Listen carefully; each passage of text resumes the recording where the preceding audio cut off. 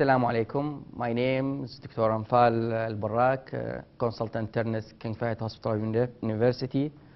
Today I would like to perform a physical examination of uh, lower limb regarding the uh, deep vein thrombosis.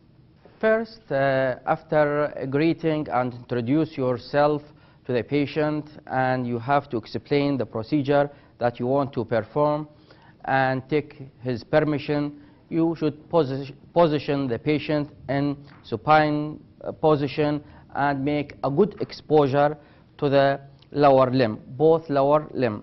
So it's better in supine position. Then we expose the patient up to middle of the thigh and start with normal examination. We start with inspection. Inspection of both legs. So we can say, for, for example, this patient, uh, the normal shape and contour, no deformity, normal position of both leg. There is no obvious distension or swelling of each uh, uh, leg, and there is normal color with normal hair distribution, and no obvious, this is very important things you have to mention, even negative sign, you should mention them. So for example, you you can say there is no dilated vein and there is no varicose vein is seen and also there is no ulcer in both sides of the leg, no gangrenous changes and no petechial hemorrhage. Okay, then we can also inspect between the, the toes for any ulcer, wound, trauma, and for both sides. And also, you can say that this is for an inspection. So there is no uh, uh, seen any obvious uh, deformity, and there is no obvious swelling, and there is no obvious change in the in the color of both leg. Then we come to palpation. What is very important part in the in examination of deep vein thrombosis. So fir- first we we ask the patient if the patient have any pain in both leg, any pain that the patient have during our examination. So start with palpation, the dorsum,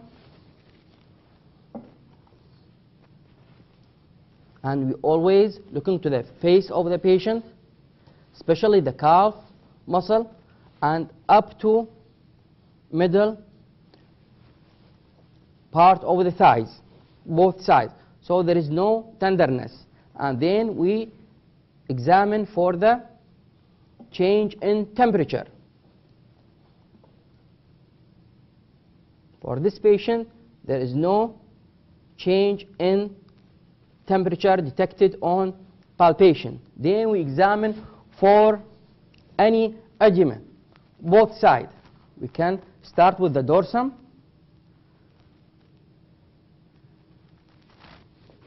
Beside the lateral malleolus, both sides.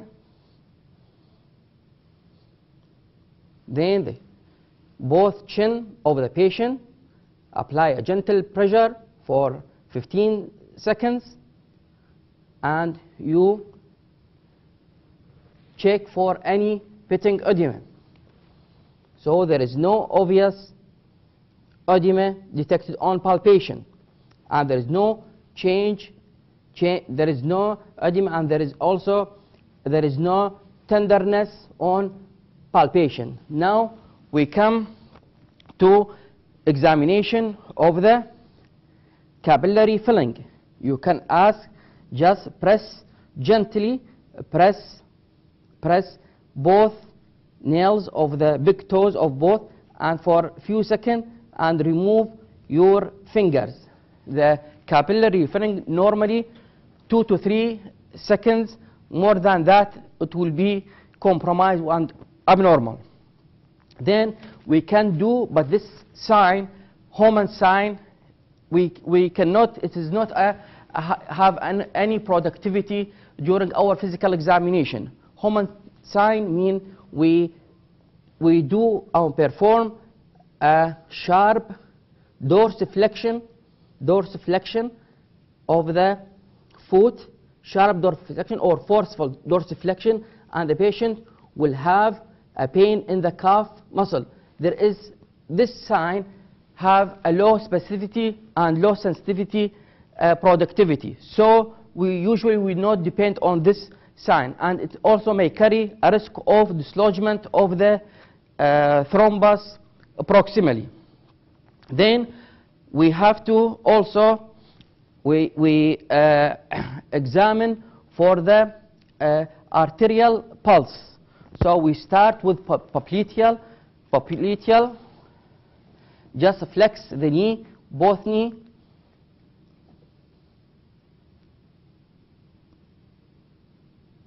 it's present for 30 second minimum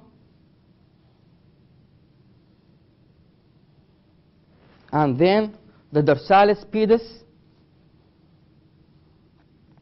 it is just lateral to the eh, tendon of extensor hallucis longus how we know the extensor of hallucis longus we ask the patient to dorsiflex of the big toe. Also both side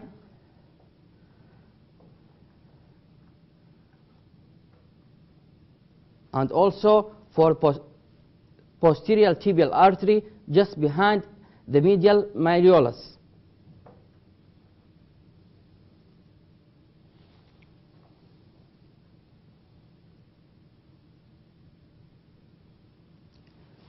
If there is also, it's intact, if there is any dilated vein or sign of thrombophlebitis, superficial thrombophlebitis, we have to palpate up the up to the to the uh, up to the thigh.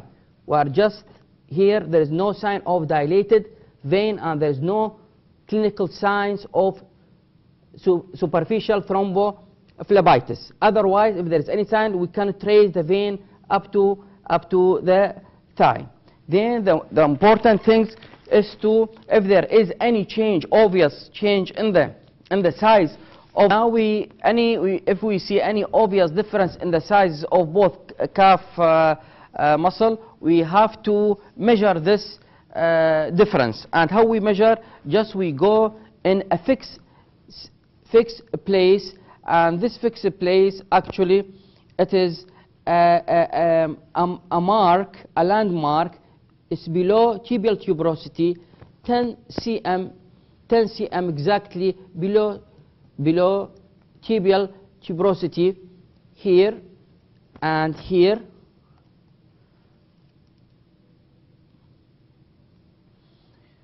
Just using a skin marker erasable skin marker so we can just flex the knee gently and take the, me the measure 10 cm below tibial tuberosity. How you know tibial tuberosity? It is the first prominent part of a tibial bone. If less than 1 cm, it is no significantly insignificant, insignificant or non-significant clinically. If it's more than 2, two it will be significant swelling or difference in sizes. And regarding the, the upper part in the thigh, we also we use a 15 cm above the upper border of the patella bone, 15 cm.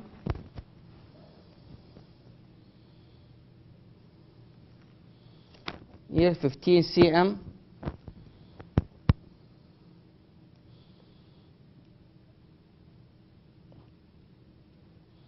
and we can also measure both differences in the in the in the thigh.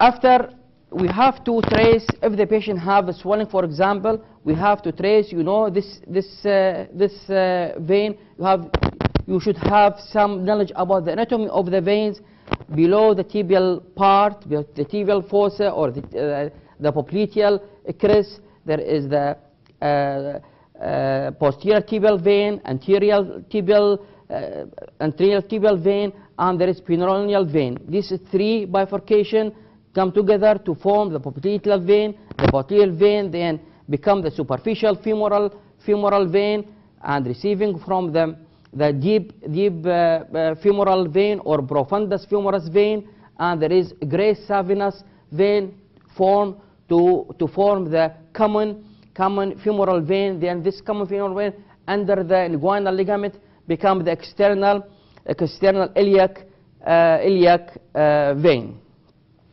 Now, after we have have the uh, finish the palpation part of the of the lower limb, so what the sign of the signs of uh, DVT? This swelling, tenderness on examination, positive Homan sign, and uh, also uh, red, change in the color, and change in color may have you have uh, red, redness, erythematous uh, uh, uh, changes, and also because of inflammatory changes, and also may have a, white color. What do you call it? Phlegmasia alba dolens. When there is a big proximal thrombosis, this compress the arterial supply, and there is ischemic changes and become cold and white color.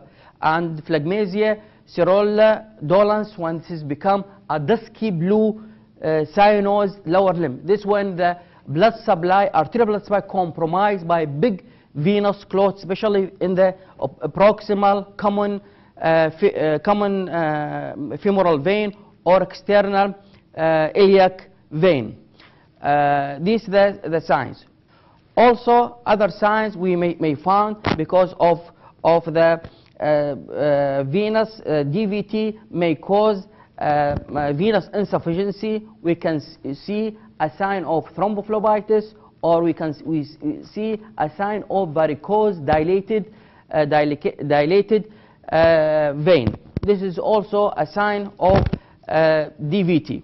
So you, you may ask during the exam, it's very important, three to four questions you should put it in your mind. First, what is the, the risk factor? What are the risk factors to develop DVT. Risk factor is many risk factors, especially the age more than 40, for example, immobility, post-surgical procedure, like, for example, gynecological procedure or orthopedic procedure or neurosurgical procedure, paralysis in patient, for example, paralyzed patient, and patient with the trauma to the trauma to the to the lower limb, and also uh, using contraceptive uh, estrogen therapy, for example, contraceptive uh, pill also, familial and recurrence, and I, I, mean previous DVT is also a risk uh, factor, and you know protein C, protein S, Leiden factor 5 also deficiencies also can cause recurrent antiphospholipid syndrome can cause also recurrent Uh, uh, um, uh, risk factor for DV.